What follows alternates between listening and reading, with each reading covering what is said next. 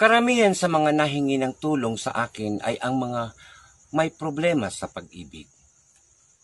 Kaya naman ipamamahagi ko ngayong gabi ang isang ritual na tinitiyak kong kagigiliwan ng lahat.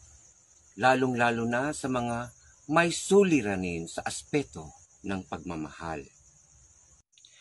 Bago tayo magsimula sa talakayin natin ngayong gabi, disclaimer po muna tayo. Kayo mga pabebedya na di naniniwala, mabuti pang mag-escape na lang kayo. At wag na magkomento ng di maganda upang di kayo katigan ng kamalasan kinabukasan. At kayo namang mga bebe ko, ipagpatuloy lang ang inyong panunood. Maaaring bukas makalawa ay magiging maayos ng iyong buhay pag-ibig. Malay ninyo. Ala eh, kung kayo po ay bago laang napatpat sa aking channel, ay siya, huwag nyo kakakaligta ang mag-subscribe at dudutin lang ang ating bubuwit at kampanang butones upang masundan din ang aking mga pasabog. Kay on, kay on lang ang inyong gagawin. Kayo na po ang mag-adjust.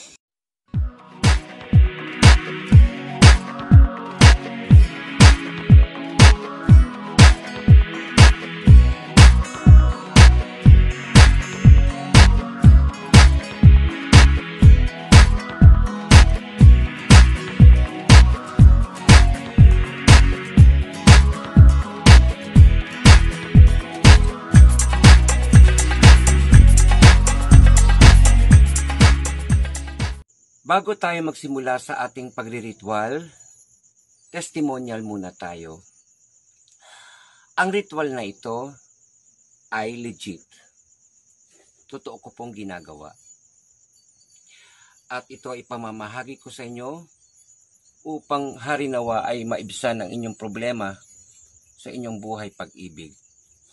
Maraming nagtatanong sa akin kung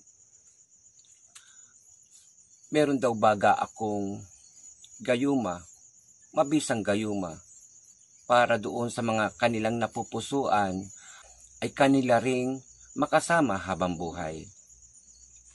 Ngayong gabi ay tatalakayin natin ang ritual sa pulang laso at lilang kandila. Bago tayo magsimula, kailangan nating maghanda ng mga gagamitin kailangan natin ng ulang laso, mga isang metro. Kailangan natin ng kanyang litrato. At kailangan din natin ang ating litrato. Kailangan natin ng guantes. Yung pares na guantes, uh, maaring kulay black na may touch of red or maaring red ang ating gagamitin, kailangan pong pares. Kung kayo po ay magsasagawa ng ganitong ritual, kailangan pong pares. Kaliwa at kanan. Ganyan po. Kailangan po natin ng bilog na clear glass o clear bowl na lalagyan natin ng tubig, mga kalahating tubig sa ating bowl ang ating ilalagay. Kailangan po natin ng tea candle, lila. Para po sa di pa nakakaalam ng kung ano daw po ang lila, ito po ang kulay lila, violet po. Violet candle. Tea candle po ang ating kailangan. Dahil ito po ay ating ilulubog, sisindihan at ilulubog sa ating baon na may tubig. Ganyan po.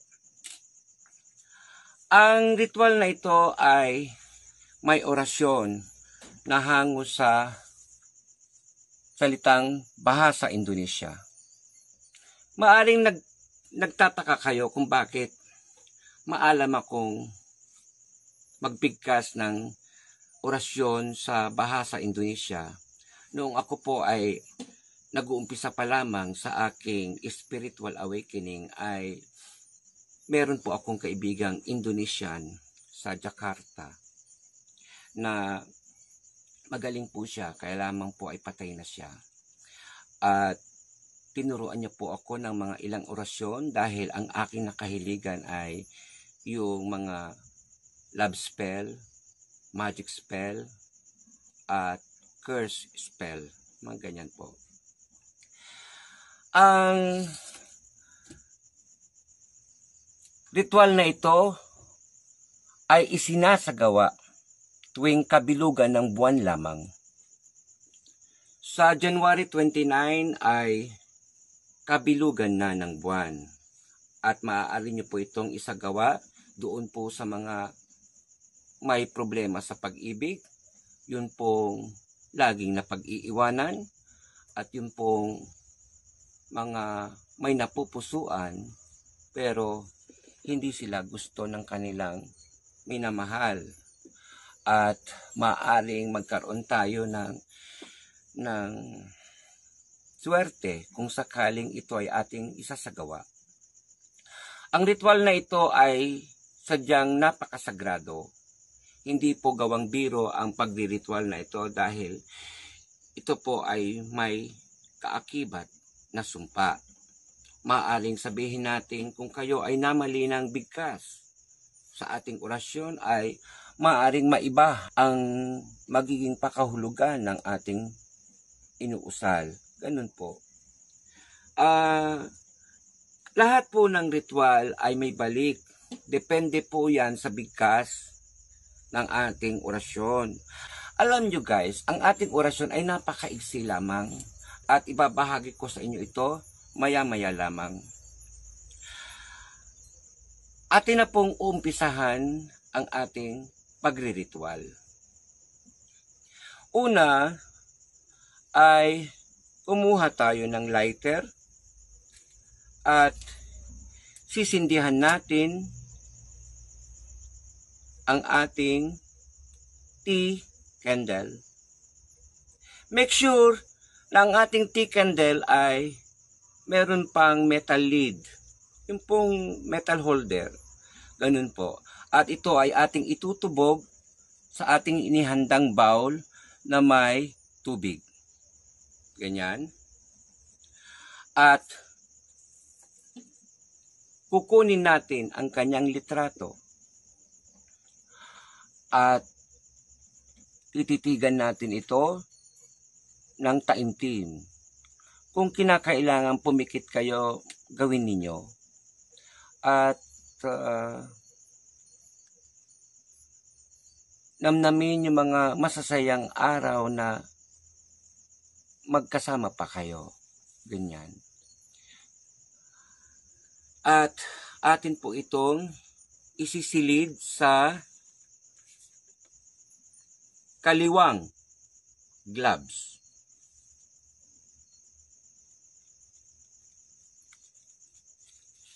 Ganyan po.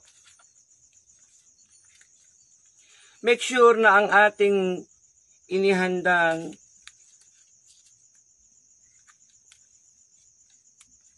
picture niya ay nasa gitna ng palad.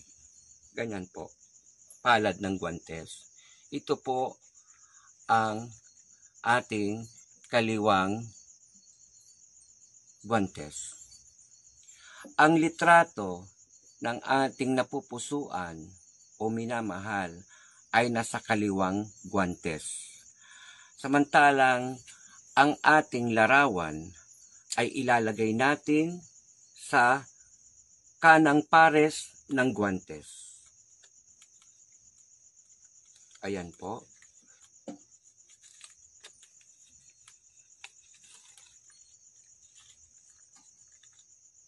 Narito po ang kaliwang guantes at ito po ang kanang guantes. Wala tayong ibang gagawin kung hindi pagbigkisin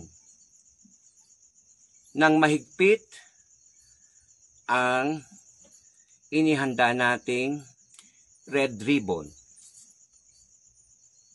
Ganyan po.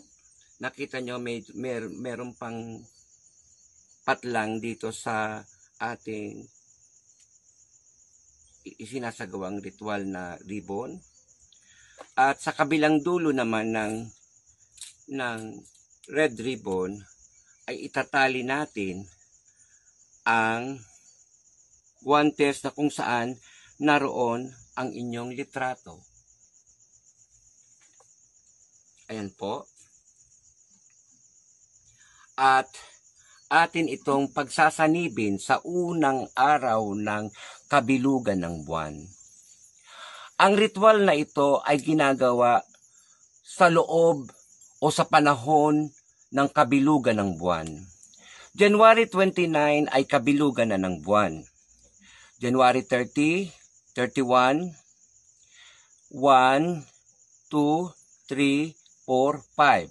So that means, yung 5 po kasi, yung February 5 ay first quarter na. At ito, 6 days lamang po ang full moon natin simula ng January 29. 29, 30, 31, 1, 2, 3.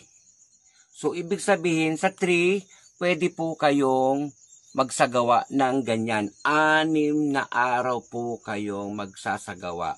Biyernes, ang January 29, 30, Sabado, Linggo, 31, 1, 2, 3, 4, Monday, Tuesday, Wednesday, Thursday. Thursday po ang huling uh, ritual natin wala po tayong gagawin kung hindi magsisindi lamang po ng kandila tuwing atin itong ginagawa. Make sure na ang kandilang ating inihanda ngayong, ngayong gabi ay nakasindi. Huwag pong mamamatay hanggat hindi natin inuusal ng tatlong beses ang ating orasyon. Ang ating inihandang gamit ay kailangang pagsanibin, yung pampaparang kapit kamay. At ilalagay natin ito sa harapan ng bowl na may sinding kandila. At atin na pong uusalin ang ating orasyon. Sa atsaya mengikat sarong tangan ini, sa muga anda, dikat saya dan bersamasaya sa umur hidu. Sa atsaya mengikat sarong tangan ini, samuga anda dekat saya dan bersama saya sa umur hidup. Saat saya mengikat sarung tangan ini, samuga anda dekat saya dan bersama saya sa umur hidup.